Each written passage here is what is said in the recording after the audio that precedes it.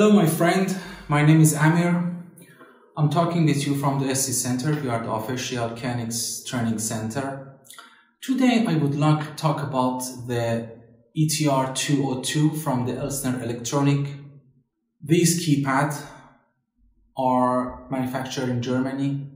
They are the touch type in two color, black and white. Also, uh, as a design phase, they are awarded uh, with the Red Dot Design Award. So it is so stylish. And about the price, they are so economic. Uh, now we are going to get deep in this product and see the details of them. I hope you enjoy it. Please let me know if you have any questions.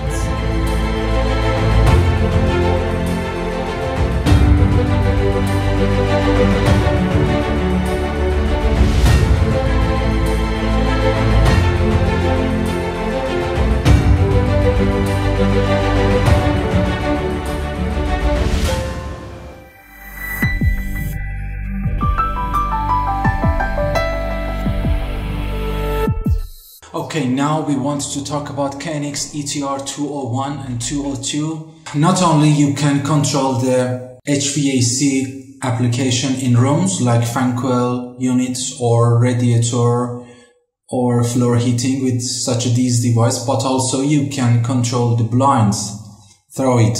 So let's let's go what's happening with this device. So here you can take a look at ETR um, 201 with only one control of the blind or shutter and 202 to control uh, two motor. It can be blind, shutter, window, actuator, and so on. Okay, so uh, from here you can choose between different color and different model in function menu.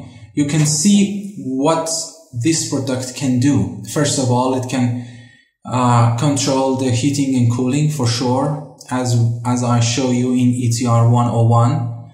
Then for LED that is existed on this product, you, you can uh, have, have, an, have different options. First of all, these LED can, can automatically control according to the ambient lighting. That is great. And, and, and, and as you will see, I will leave it like this in, in parameter window also, there is possibility to control it individually through the parameter or objects.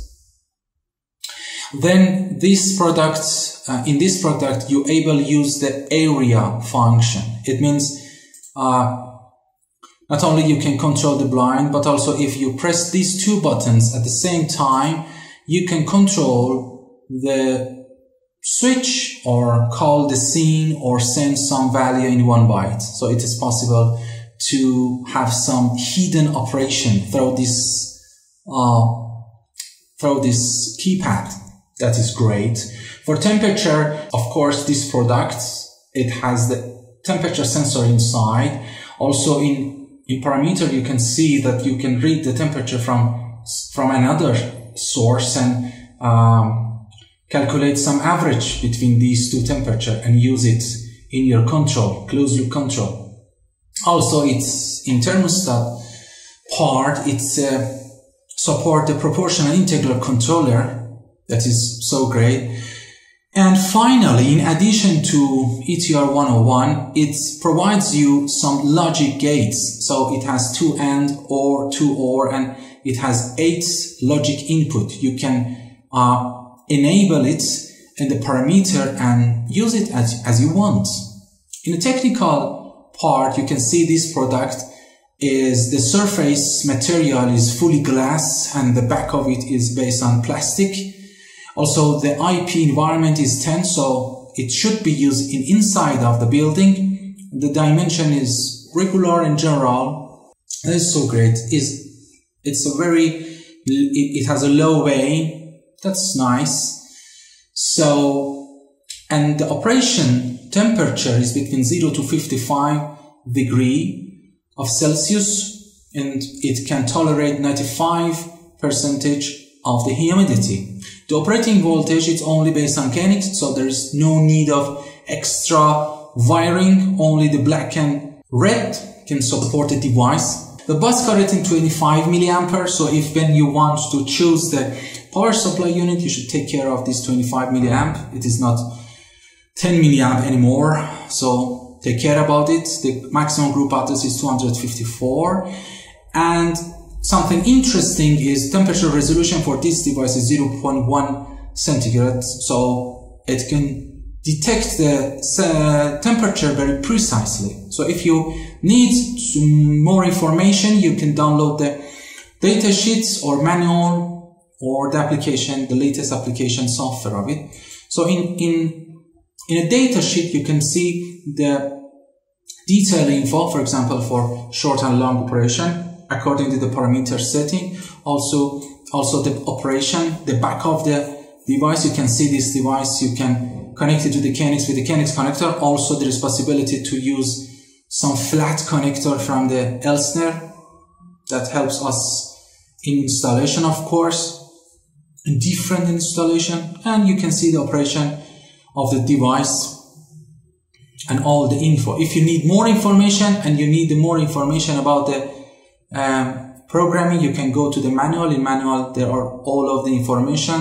Of course, the datasheet information uh, uh, is included and in addition of that you can see all the group object that is provided by this device.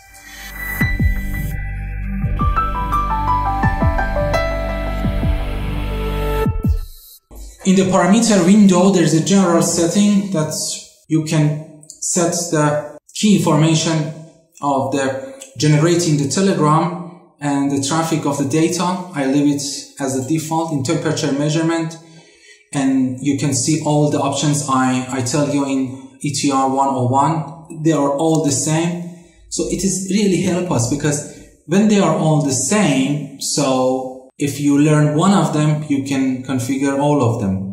So it's nice. Then in continue, uh, we can see the temperature threshold value. So there is two threshold value it provides for us. In each threshold value, you can use it to have a two point output according to the threshold that you assign it in a parameter or send it by the group objects. So I don't want to use it at this moment. In temperature PI controller, of course, this is the closed loop controller. You can use this. And in LED part, you have the all possibility to control the LED. The default is based on ambient lighting of the room. Of course, you can select another things and let it to control by parameter or the group objects. In push button, there is three options. First of all, this use area operation. If you press two button at the same time, so if you press yes, you can see the in, in a function tab, you can provide different data point types to control different things like call the scene or send some value in one byte or two bytes, of course. Then in drive line 1 and drive line 2, drive when, when we call drive 1 line, it means here, this is a drive line 1 and this is a drive line 2. You see, drive, drive line 1 and drive line 2. So, for example, if you choose the drive line 1, you can go to drive line and have a function blind. Blind means some curtain with a slat, the roller shutter, it's curtain without a slat. Then Awning, it's uh, for shutter outside to protect against the sun, for example, and the window. Okay, if I put it in roller shutter, it's a sweep up down. So here you can reverse moving because after installation, you should uh, have the same moving as this uh, icon in a keypad. Then here about the operation, it is really nice here because in compared to other brands, it provides you fully function here. First of all, standard option. The standard option, the long operation is move up, down the shutter or blind and the short operation is stop. If you put it in a standard inverted, so it's vice versa. The long is a stop and short is up, down. If you put it in comfort mode, you can define the short operation, long operation by yourself. So these times are flexible to change. And if you put it in dead man control, of course, I saw it in other brands with a different name. So here, when you push the button, the shutter is go down or up. And when you release it, it it's stop. So according to the bus uh, chapter of the KNX basic book, I put it in standard. And you can see the logic. You can have different input and of course you can have the AND or OR logic and all of the objects are here. You can use all of the objects to perform your actions. Thank you so much.